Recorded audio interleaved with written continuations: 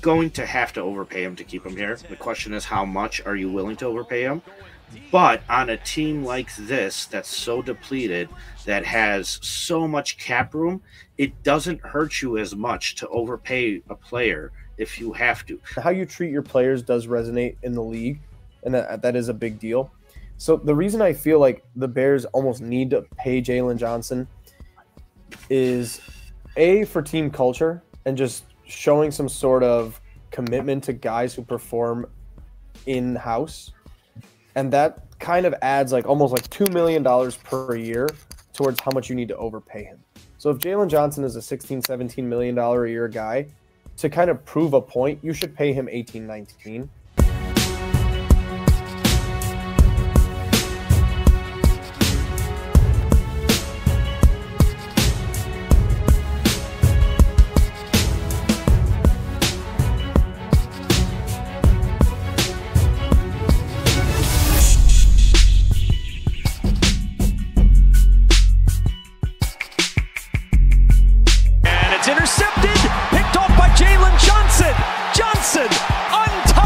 Telling Paulie all summer that like I'm not I don't have the balls to say on the channel or like make it public, but like I've been telling Paulie I'm like Justin Fields is not the future. Like he's gone probably by year two. You're crazy. I I, I want him to be. I think he's good enough to be. I think I think oh, this is gonna be perfect. Is gonna, is gonna replace yeah. him. Paulie hates me for it. I think no, he's gone too. I think he's gone. Oh uh, yeah, yeah. No, I do hate you for it. Yeah. You think he's think, gone next year? I think they'll take him through five, and um, I think they'll bail. I think they're gonna bail. I think by I think, that time, like we're either. I hope. I think ideally we have gotta, to be good enough then that we won't be in position to, to draft the quarterback. So I feel like, and this is where the Poles wants lies. out, when he'll have, have to do it. First round picks, and one of them is probably going to be a top five this year when are when Man, else are you going to do so. this? When else are you going to do this though? You're going to take Drake Maye or Caleb Williams if you got it. Last year at the start of the season, Vegas had this team at six and a half wins, and Bears underperformed and, and, wound up with a three-win season. Now, after all the off-season acquisitions and the the draft trade and the draft picks and everything like that, Vegas now this year has this team at seven and a half wins. So they've only seen a one-win upgrade, and you know, for all the fans out there projecting 10 or 11 wins, it, it's a hard argument to make because you're expecting now now to overachieve by you know three or four games. So, uh, you know, what uh, what's more the realistic expectation here? I think you nailed it with uh, Vegas. Me and you go more on math and statistics, and we go on Vegas, right? Vegas has been consistent for for years and over time, and like you said, so if Vegas had the Bears at six and a half wins last year, and you would consider this team an underperforming team last year, and you have them at seven and a half wins this year, you're looking at a team that is mathematically just basically a one game better team. So if this is a team that underperforms, we are looking at a similar season to last year, like you said. So an underperforming team, one game better, we're a four win team you know that's that's going to hurt. That's going to be really painful. And uh, if if you're an overperforming team, and that's the argument you want to make, um, one of my favorite commentators, Yurko, is always saying that this was a six or seven win team last year that only won three games. And while I love it and I agree, generally speaking, you know, you are what your record says you are. This year, if you are hoping to overperform, right? So if you're underperforming from last year, you're saying that it was a six and a half win team and it, they only won three games. Underperforming is three games. I don't think so. I think that's like a one or two game thing. So if you're overperforming, let's say you're seven and a half wins, you should be eight, nine wins. Yeah, so I just uh, I quickly wanted to just share some of my thoughts on Chase Claypool. Now, uh, listen, I want Chase Claypool to have a good season. I want him to have a career season if he can. Uh, I want the best for the Bears and for this offense. I just I have a really rough time seeing it happen and and how it's going to happen because like you know one of my friends who's a Steelers fan when I asked him about Chase Claypool he said you know immediately when we drafted him he went into the locker room and he was the number one wide receiver his first year and yeah. it was uh, you know obvious and uh, you know hearing notes out of camp right now that's what you're getting out of DJ Moore it's like whoa this guy's obviously a number, a number one wide receiver. Sure. However, we never got that with Chase Claypool. He came here, he was kind of lost, didn't fit in, Um, you know, it just seems like he's kind of always behind the eight ball a little bit. Now, for having that kind of size, that speed, he just doesn't seem to use his body well. Remember, like when we drafted Adam Shaheen and he was the same size Ugh. and weight as Gronk, and everybody's like, "Oh, baby Gronk," and, and no, he just didn't know how to use his body in that in that physical way. It kind of seems the same thing with Chase Claypool to me a little bit. A lot of body catches. He struggles, you know, when when corners are covered all against him. He's kind of more looking for the flag than looking to make the play. Like Brandon Marshall, when we had him here, he would still he would still get a hand on the ball. He would still, no matter what, flag or no flag or whatever, he's getting up in the air. And there's a certain physicality that I don't know. I, I just feel like Chase Claypool lacks. And so, you know, I hope this arrow starts pointing up soon because to me, it's just kind of stayed flat, if not pointed down a little bit. And so, I, you know, I, I believe he's kind of a high volume guy too. He's going to need a lot of targets, I think, to get better. And I don't know if he's going to find them in this offense uh, with the way it's looking. So I, I just, I don't know. I don't know how he's going to turn around. I hope he does, but I just don't see it happening. I know you, were the only one that was really talking it down, kind of saying, "Hey, let's put pump the brakes a little bit on this." And you know, I got a lot of a lot of flack for that on YouTube and whatnot. People are you know disagreeing and whatnot. But when you when you go back and listen to it, I mean, you're pretty spot on there. Um, What I expect from the Packers in the passing game is a lot of play action, a lot of slants, and giving the ball to receivers and playmakers in space and letting them do what they do. You know, we can make fun of Jordan Love all we want about training camp videos and all that stuff. I think he's quite comfortable in the system. And I think he's had an opportunity to be in Matt LaFleur's offense, and I think he can perform it this is all speculation because we haven't seen it, but I think at, at worst, what we can expect is a 50% completion and 200 yard game from Jordan Love. um, do you think Fields throws for over 200 yards? I'm not sure, but at the end of the day, I trust Justin Fields to do what he needs to do to drag the corpse of the Chicago Bears across the finish line. Down to you know being iffy about if Fields could for, throw for 200 yards and being pretty confident that Jordan Love will throw for at least 200 yards. And yeah, Fields barely just broke that at the end. Um, you even mentioned how once you start pressing the ball, you're going to throw a pick, and we saw a pick six in this game. Um, couldn't stop the Packers run. Sat there, they kept gushing us seven yards on first down over and over. Meanwhile, just like you said, we wind up in these third and long situations over and over and over again, which are It was the worst nightmare come true. It is so much worse than I could have imagined and thought what would happen. Um, I was being hopeful for sure and being optimistic and setting, you know, like the Bears to win and everything, but I definitely will reevaluate my hopes moving forward. when you look at certain guys that play this position, you, you- Tom Brady's my favorite. Um, even when trying to pull tape on Joe Burrow, there isn't. You know, I tried to put a highlight video of one of Joe Burrow's playoffs games. I couldn't do it. There was no 20, 30 yard passes. It was just three yard pass, eight yard pass, you know, a couple yard run, 10 yard pass, four yard pass. It's just, it's like cutting you with a knife, but the knife's a little sharper than Tom Brady had.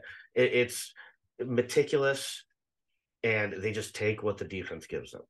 I believe at, at some point, if you're going to look at a long term outlook here, you need a guy at the quarterback position that is going to be capable of just taking whatever the defense gives them.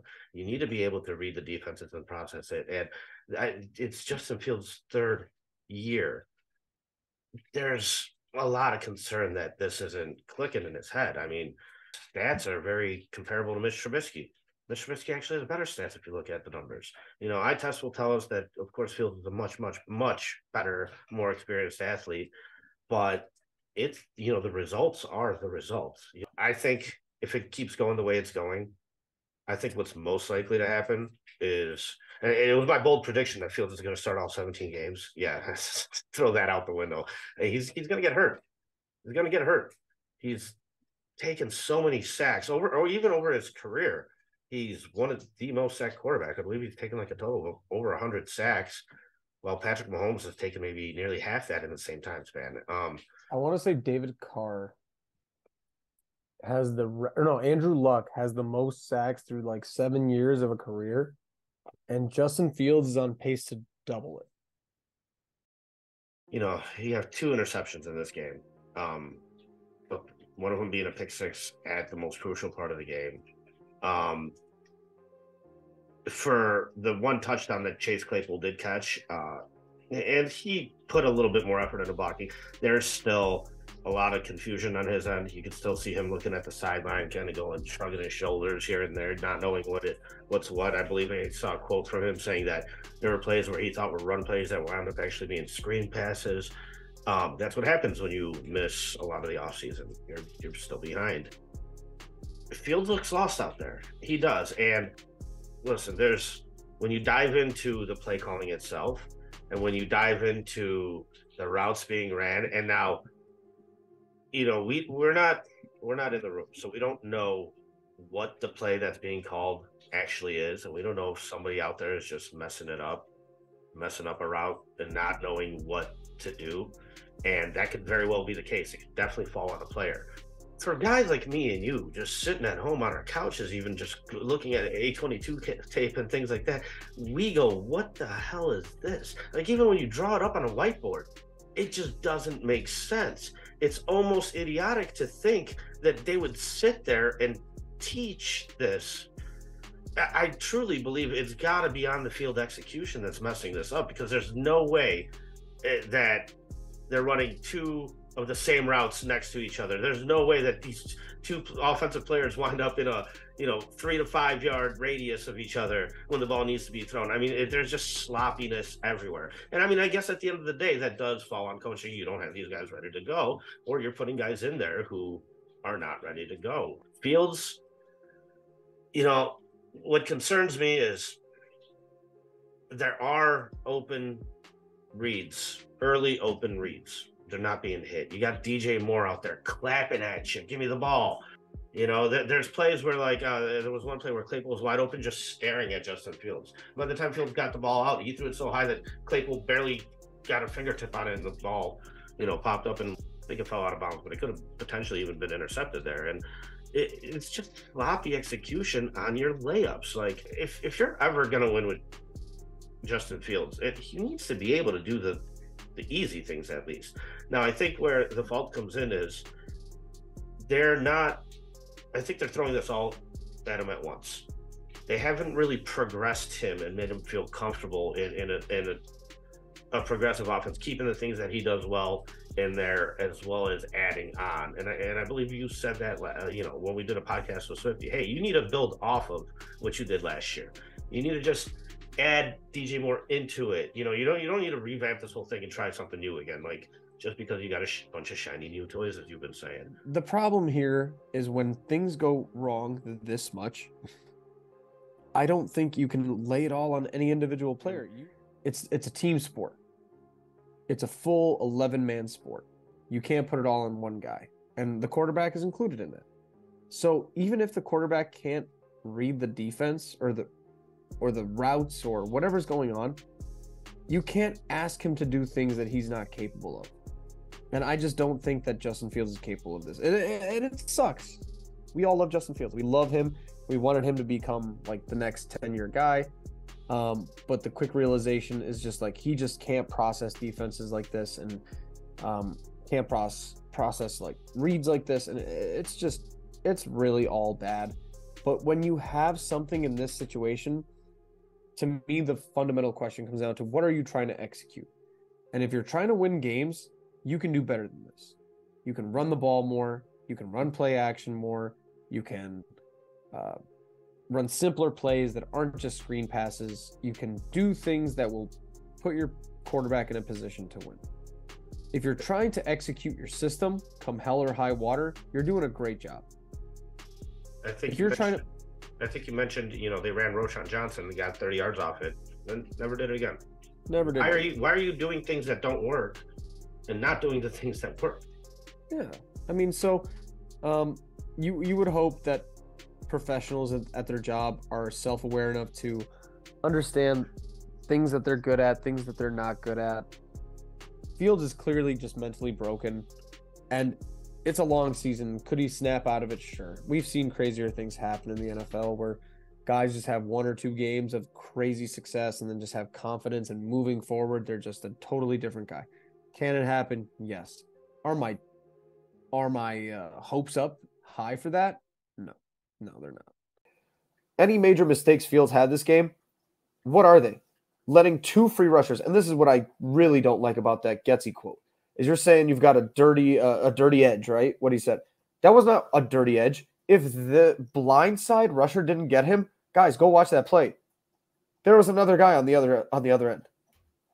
So that was not a, a sack where oh he didn't see that guy coming. He was getting sandwiched. He was getting absolutely demolished. The strip sack fumble, Justin said the rule there is just don't take a sack on nakeds or bootlegs. What what can what's the coaching point there if he has his back turned in those situations so that doesn't happen again? Yeah, I mean, he, we just talked about the goal line play was exactly the same thing, and so whenever you, whenever you know you have what we refer to as a dirty edge, which every pretty much every uh, bootleg keeper that we have is a dirty edge, you got to come out high, and when you recognize that got the rusher is high, you got to pull up, and so uh, he didn't do that on that particular one. He did it on the other one and created a touchdown for us, and so uh, that's part of that learning experience that you get in games and seeing the way everybody's game planning you specifically if he didn't eh, fumble that ball by the first hit. So now he's being told is don't take a sack. And don't take a sack. I, I want you to step up, use your athleticism, and make a play that you know three guys in the league can make. Great, awesome coaching. The way he explained it there, I don't know if I'm misunderstanding or he didn't explain it very well, but he explained it like a dirty edge is just something that happens regularly. Like a free rusher is just going to happen regularly all the time on his play designs. And it's like, what the hell are you talking about? No. That's not how it's supposed to go down. They're not supposed to have free rusher every. So the defense, it looks like they've made a turn. So do you think they'll continue to play better football like we've seen the last several weeks? Do I feel this defense has made a turn and will play better football like we've seen in the last few weeks? I think so, yes. For many reasons. Much of what you guys said is the reason why I think it's improving, and it is a credit to Matt Eberflus. A lot of it also is purely based on health. You have your nickel cornerback, which is one of the most vital parts of this defense, back. You had Kyler Gordon sit out the first six weeks. He's coming out. He's making hits. He's doing blitzes really well. He replaces Jack Sanborn in those little nickel package situations. And your defense is gelling. And this is this was my point to begin with. You have a defense where all four starters on the defensive line were switched out all three linebackers were completely switched out. We're talking about seven guys out of 11 that were not playing together last year, including the fact that Eddie Jackson was hurt for the entire end of the season, that Jaquan Brisker and Jaylon Johnson were hurt towards the end of the season. You guys had, you know, starting cornerbacks that aren't even on this team. So it is a big deal. It is important to see defenses that are consistent and gel together because you have defenses in the NFL that don't have as much skill that play much better than this. Reset. Oh, you're hitting the reset button. You're hitting the reset button. You're not. To sit there and think that a guy can't come in into the situation and have some success, I think it's bonkers. In fact, 100%. most number one overall picks come into a way worse situation. It fell into our laps. Like you said, we're gambling with house money. Now, mm-hmm. listen, I'm all in for Fields being our starter. If I don't know, Carolina won a couple more games, we had like pick seven and pick nine.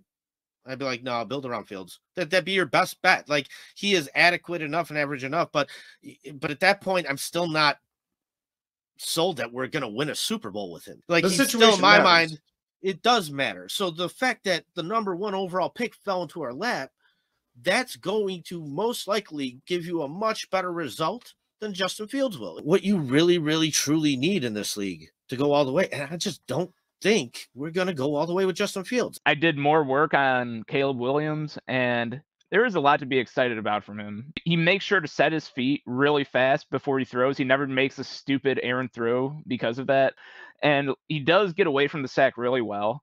They anticipate him beating 4 6 at the combine. So he's still going to be a fast quarterback, not as fast as Justin Fields, but his escapability is still there. Not as escapable as Justin Fields, okay? But he always places the ball on the numbers, even when he's on the run. The consistency that he puts it right on the receiver's chest so that they can just catch the ball and run. That that is important in and of itself. He does get the ball to all three levels. He does check his reads extremely fast. Basically, a lot of things Justin Fields doesn't has not demonstrated so far. Justin Fields' flaws, we don't know how many percent of it is on Justin Fields and how many percent of it is on Luke Getsy and the Bears developing him. But it's there in year three still. Okay. And it was there at the beginning of year three. And I was like, geez, I hope they fix this this year. And then at the end of year three, there were still some plays. Justin Fields was just looking downfield and not being able to pull the trigger on a throw. But I've seen enough plays where there's an open receiver that Justin Fields just doesn't see them. I've gone through the All-22 for every single game this last year just from putting video together and whatnot. I don't want to say I've studied it per se, but I've seen it all multiple times. There's plenty examples where, you know, a lot of people say, oh, well, the O line, the O line, the O line, he's getting sacked. Eh, well, you know, there's a lot of avoidable sacks. A lot of times where he drops back and it even looks like he wants to pull the trigger and doesn't. And now it's chaos, backyard football time. Sometimes that ends up with a positive play. We saw way more of those positive plays in 2022 than we saw in 2023. But sometimes it ends up with a negative play. Sometimes it ends up with a fumble or a sack. I I keep kind of going back to this comment that I said where I didn't think his floor would still be this low. You know, what are we hoping here for? What are we holding on to here? And at the end of the day, you got to pay him next year. He's gotten sacked 130 times in two and a half years, um, which is another part of it too you know, Andrew Luck can survive this league. He's on pace to double it. And I know at the beginning of the year, during the offseason last year, at least through mine and David's conversations, our idea was, well, okay, say it does fail, or say, you know, you, you don't want to be stuck in the middle here. You could use the middle as a stepping stone, right? But say he does fail, or say he's just average enough to where you're still scratching your head and questioning it. You have two first round picks. You could package them together and trade up to get whatever quarterback you want. Well, look at this. Now, number one literally fell into our lap. It's such a unique position to where you don't even have to do that. You could still take the best quarterback out there if you want, and you still have your number nine pick. You know what I mean? And Mm-hmm. that's really, really enticing, I think. The sentimental guy in me wants to keep Justin Fields, but we're in a business, man. And there's a clock on the contract situation, and I think it's time. I think it's time to get Caleb Williams. Cole Kmet is no longer an experiment. That guy is a top 10, arguably top five tight end. Like the offensive line is not minus the center position, really. Not a bunch Center of and scrubs out there guard. anymore. Center and guard sometimes when they're Yeah, hurt. but But three out of five. This isn't a completely talentless team. The argument I understand is if you barely just missed the playoffs or you got bounced in the first round and it was clearly a lack of talent issue. You were Yes. nowhere near the level that you need to be. And part of that just has to lie in your quarterback, doesn't it? The fact that he can't make the other players around him look demonstrably better. I don't think there would be a lot of shock if you just came back with a better quarterback on this team and all of a sudden everyone looked a little bit better. It is what it is. And again, when you watch it, it, it kind of gets to fool you because you watch Justin Fields thing do things that you've never ever seen done before, I think. Right? There's a lot of sacks that I can't name a single quarterback. You could argue it's Michael Vick, Cam Newton. I've seen Justin Fields like break out of actual full on tackles and run a 4 3 40 and like go pick up 15, 18 yards. But it looks impressive. So it kind of fools the brain into thinking that's sustainable. I can't listen to you while you blindly support and don't acknowledge negatives because I'll have a conversation with you about it, but I can't just be like, he's the best. You're an idiot to move on. What are you doing? That's fine. And the argument to be made for more draft capital, I love that. I started with that argument, but the more I, you know, really, you work on draft capital so that you can get a quarterback eventually. More We draft did it so last can- year so we could be in the spot we're at today. Exactly. It's gambling with house money, right? The athleticism is so cool and it's so fun to watch, but it's not what's going to get you over the hump at this point. People really don't like Caleb Williams being drafted because it's almost like an unknown commodity, right? And uh, as if it's, oh, well, this guy could bust. Well, they keep acting as if Justin Fields is the known commodity. If this is the known commodity, and even if he gets 10% better, you're still dealing with a bottom, maybe 20th best quarterback in the league. So you're you're hoping for a now year four leap with a brand new coordinator, with hopefully brand new pieces, brand new receivers, And then where do the excuses end? Well, now he needs to gel with those pieces. Well, now he needs another year with this coordinator. People acting like Justin Fields is the known commodity is to me the the kind of delusional part. Even if you like Justin Fields' talent, has I don't think he's ever demonstrated four consistent games in a row. Right? I don't think I've ever seen Justin Fields play four really good games of football in a row. And you can blame whatever you want for that, but That's why that Green Bay game did matter so much. Because if he Yeah. would have been able to get a third win in a row, it would have it, it would have said something. it would The fact And- that he came out and just sh- nine points. And people keep talking about how this, you know, like he can take you there, he needs more talent and more support and this and that.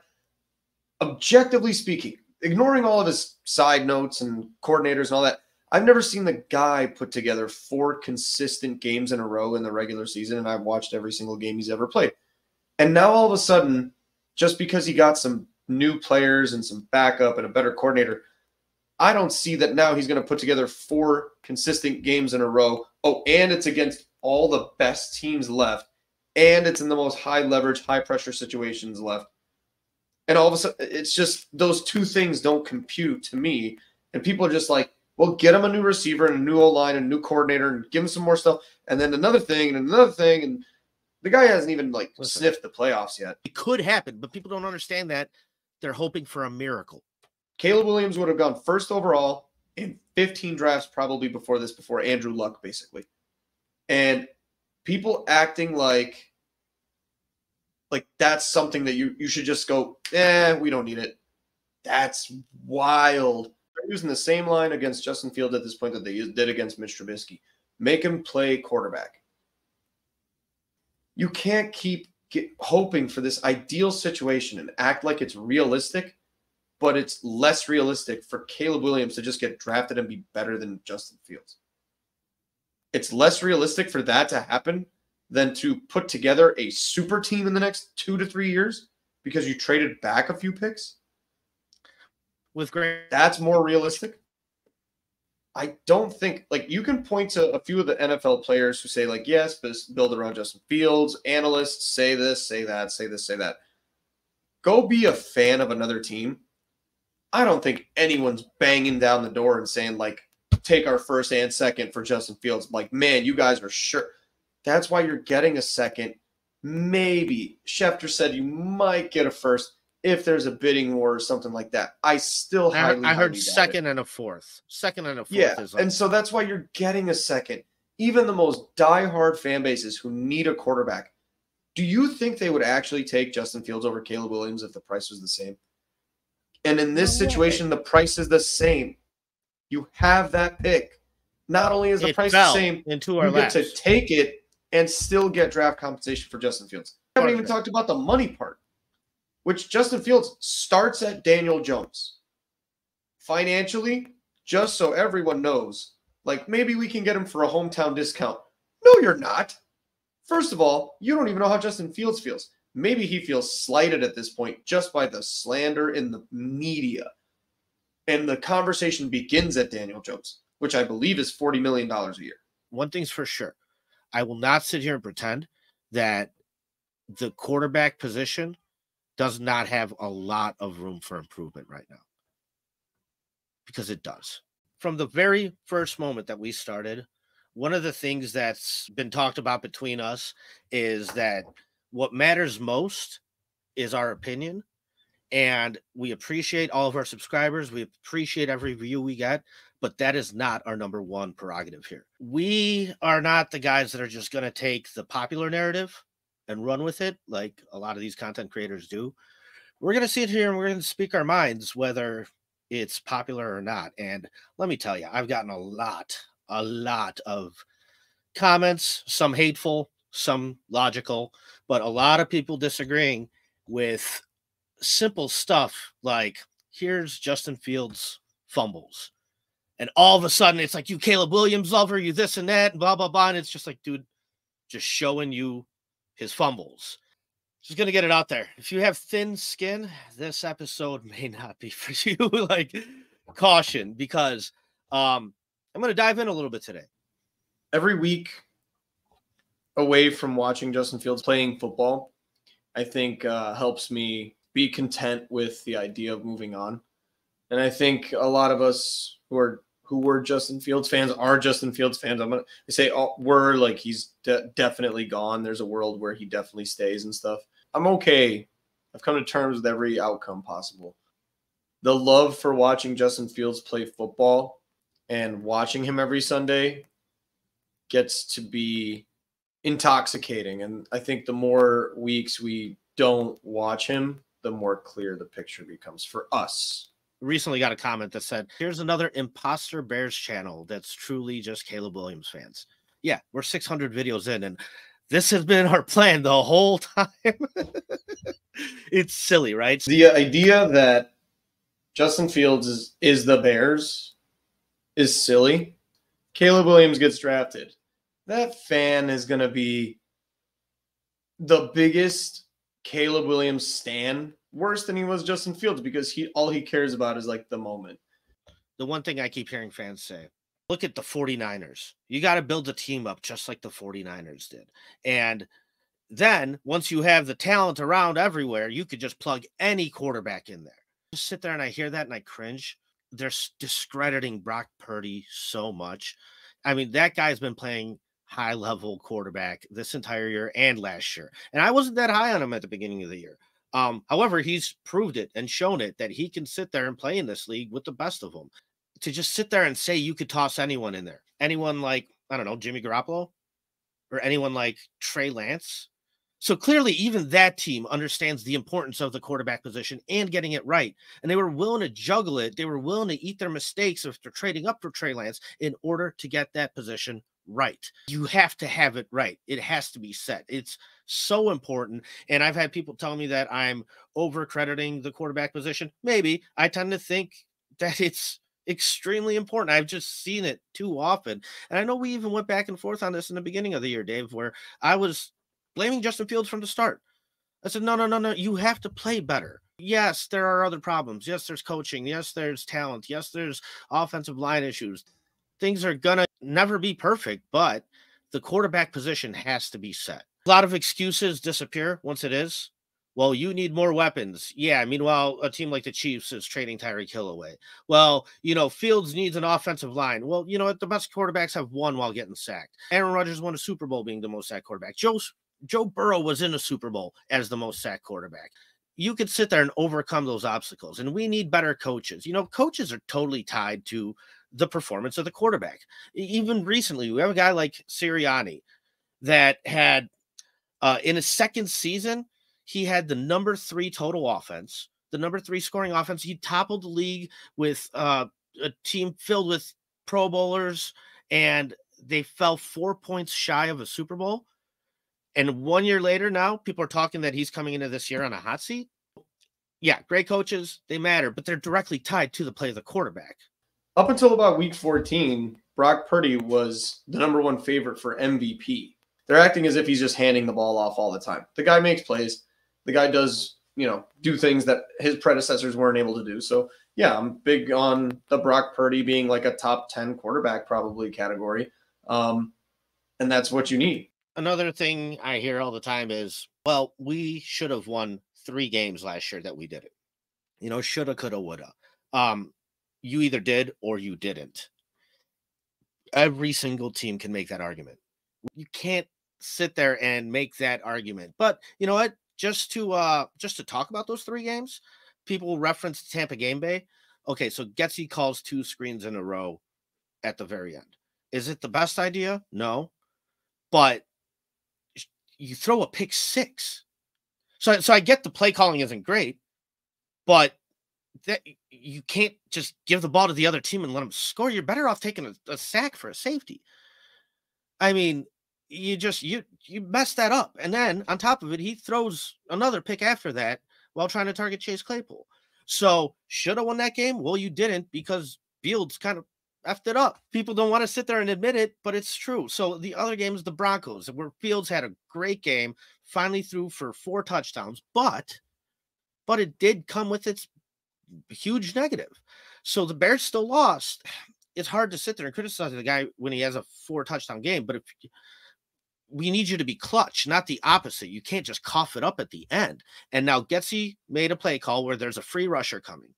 Once again, is it the best plan? Probably not. But in a press conference after the game, Getsy stated that that was the plan. That that that everybody should be on the same page. Fields needs to know that there is a free rusher coming because that is the play call. And and so to sit there and fumble it and let the other team go and score a touchdown, that can't be the result of that either. And, and so even if the play call was bad, you still effed it up. With the Lions game, the Bears collapse. Okay, the offense did very little to kill the clock in the fourth quarter. And then at the end of the game, 30 seconds to go, it that's a, it's an uphill battle, but Fields is sacked for a fumble that gets kicked out for a safety. Okay, now three points turns into five points down, but you were down three points with 30 seconds to go there's quarterbacks in this league that take that as an opportunity. 30 seconds is not a lot of time, but what we saw is completely the opposite. We saw a guy just crumble in the moment. The clutch argument. People bring up like the Vikings game, where the very pass at the end to DJ Moore was super sloppy. DJ Moore really made that catch. But people forget that the two drives leading up to that ended both with fumbles. And on top of it, we couldn't score a touchdown all game. We got lucky we won that game 12 to 9. And then you saw that same performance repeat in Green Bay at the end of the year. Part of I think the the emotional connection to Justin Fields is like hearing the rest of the teammates back him up, right? We want him back. We hear all these players saying that we move on from quarterbacks too quickly and this and that and the other. Yeah, Everybody had Chase Claypool's back. But everybody had Ch- that's what right. I'm saying. So like everybody had Chase Claypool's you can't throw your teammates under the bus. Of course you can't. And I don't think anybody thinks the same way about Chase Claypool as they did about Justin Fields but I don't think it was that different. I think they thought Chase Claypool was a decent guy, and maybe he just didn't like click well with the team. And then Chase Claypool, the rest of his career, kind of spoke for itself, and he was what he was. There's no re- there's nowhere near a comparison here. I don't think Justin Fields is anywhere near as bad as Chase Claypool as a player. I think Justin Fields will go somewhere and he'll be productive, and he'll he'll be good enough to do the same stuff again. He will have some version of a quarterback controversy. Man, Justin Fields, he's so talented here in Atlanta and Pittsburgh or whatever, but he's just ah, something's just missing. Something's just that and people can't comprehend the idea that maybe this is just what Justin Fields is. There are 15 quarterbacks in the NFL that are better than Justin Fields that are less physically gifted. And sometimes it is just kind of between the ears and maybe he will go somewhere and be better and just calm down and simplify. My opinion is that Justin Fields needs like a whole year off. He should not be a starting quarterback in the NFL this year. He should probably go somewhere, learn a playbook, kind of forget that people care, maybe be a backup somewhere, and then he'll get a refresh. I think that might be the best thing for him, but I I think he starts somewhere next year. I agree. I'm not saying that that's what I think will happen. I say that I think that's what's best for Justin Fields. But putting him out there again this year and putting him with better receivers, people keep talking about how he has a lack of talent, lack of this, lack of that. There's always an excuse to be made. But what if you give him all that talent and he flounders again? Right? And yeah, obviously then you say, "Oh, well then you just move on." But you've just you just screwed yourself because you didn't draft a quarterback. Now you don't have those draft picks. You let Justin Fields stay and now it looks even worse in retrospect, right? So it, it um, just happened. We, he, we need more weapons. We go off and get DJ Moore. What happens? Mooney's production drops. So you didn't add DJ Moore. You kind of had that production replaced. And you upgraded upgraded the position, right? But like you did upgrade the position, but but there's there wasn't enough to go around for everybody. Somehow, some way, right? And that's what's the, that's what's like the scary stuff. Like Cole Kmet is no longer an experiment. That guy is a top 10, arguably top five tight end. Like the offensive line is not minus the center position, really. Not a bunch center of scrubs and guard anymore. Center and guard sometimes when they're yeah, hurt. But, but three out of five. This isn't a completely talentless team. The argument I understand is if you barely just missed the playoffs or you got bounced in the first round and it was clearly a lack of talent issue. You were yes. nowhere near the level that you need to be. And part of that just has to lie in your quarterback, doesn't it? The fact that he can't make the other players around him look demonstrably better. I don't think there would be a lot of shock if you just came back with a better quarterback on this team and all of a sudden everyone looked a little bit better. It is what it is. And again, when you watch it, it, it kind of gets to fool you because you watch Justin Fields thing do things that you've never ever seen done before. I think, right? There's a lot of sacks that I can't name a single quarterback. You could argue it's Michael Vick, Cam Newton. I've seen Justin Fields like break out of actual full on tackles and run a 4-3 40 and like go pick up 15 18 yards. But it looks impressive, so it kind of fools the brain into thinking that's sustainable. Listen, we're not just here to just talk Fields down to nothing. He might be the best athlete in the NFL. Yeah. He, I mean, he is so physically gifted, you know. But even like listening to uh, Carmen Yurko earlier today, you know what Yurko said he wants from his quarterback? A brain and an arm.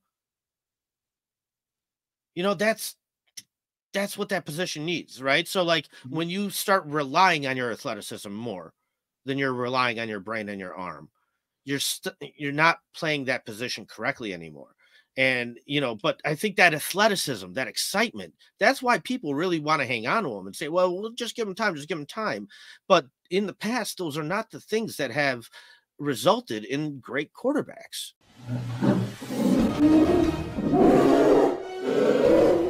It does feel like the Chicago media, though, has already begun to project their feelings about Caleb Williams, and you know the hatred due to Fields. Like you hear this whole "he better perform or else" narrative. Um, I'm going to tell you right now. I think the best rookie season in in NFL history, or at least in modern history, was Cam Newton in his first year. Um, and he had, uh, I believe, a little over 4,000 yards passing, 700 yards rushing. Uh, he had DeAngelo Williams and uh, Jonathan Stewart with him on that team. Um, his Steve Smith and Greg receivers- Olsen, Steve, too. yep, Steve Smith Senior, uh, Greg Olsen. Greg Olsen, and then the backup was uh, Jeremy Shockey. So he had some some weapons on that team, and they still went six and ten, right? So Caleb Williams is a rookie, and what do you think is the actual realistic type of projection here for this kid this year? the real expectations that you're looking at with Caleb Williams is he should be one of the better rookie performers we've seen at the quarterback position in some time.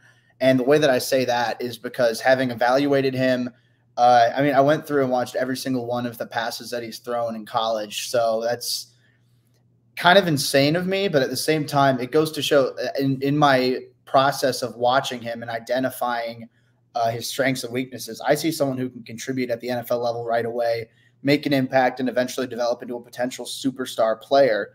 There's a bit of expectation for him to perform very well because of that. There's a prominent media member who said that this is the best surrounding, like supporting cast that a number one pick a quarterback has had in the last 30 years at least. The fact that the number one pick didn't come from Chicago's own poor play, you're looking at now DJ Moore and Keenan Allen at wide receiver, an up and coming offense, a strong defense. There's a lot to like there in Chicago. So you're throwing in a, a high end blue chip quarterback prospect. The expectation should be high.